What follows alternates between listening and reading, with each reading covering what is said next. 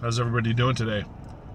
So I did a short video earlier. Uh, if you haven't seen it, it's on the shooting stars and what it means when you see a shooting star. But uh, it's a good segue into leading into today's video about stars. Uh, the North Star sp- specifically, it's a you know a spiritual representation of. Um, it's a beacon of hope, and it's the light that guides you through darkness which is you know it, it, it's it's epic right? That's an it's amazing. Um, when you see the north star it represents stability and purpose and it's one of the few stars in our sky that it's in a fixed position.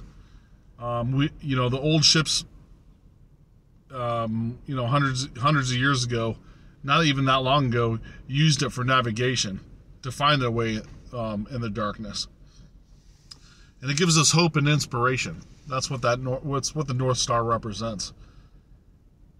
You know, when you see it, just know that the, there is stability that, that's going on in your life. You look up at it and just you know know that you're you know you have a purpose and you keep um, driving forward for your spiritual journey. Or infinite spiritual beings have a temporary human experience you know, the North Star is part of the cosmos, and I talk about the cosmos all the time. Um, and I talked about the shooting star in the previous video.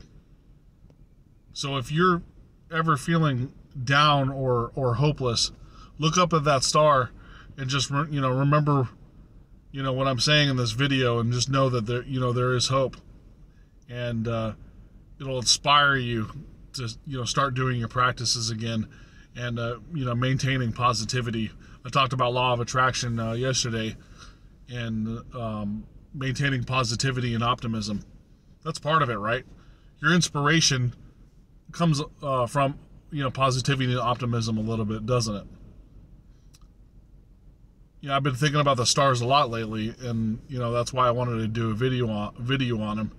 And you know, the, you know the esoteric stuff does have meaning. I always talk about it in my videos, and uh, you know, when it comes to spirituality, I I always kept my mind open when it came to like reading about different religions, learning metaphysics and all that stuff.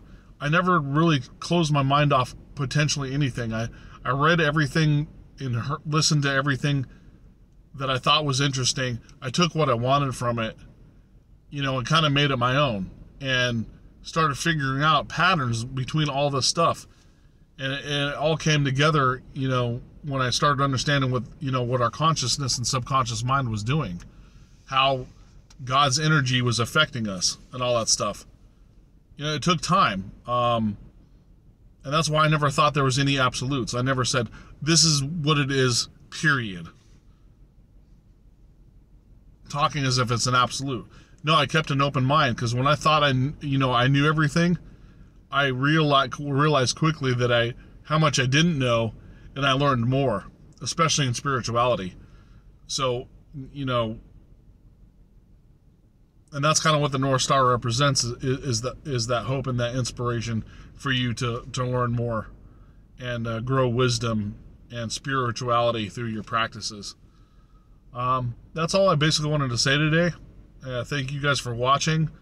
I always appreciate it, and you guys have a nice day. Oh, and remember, tonight look up at the North Star and uh, know that there's hope.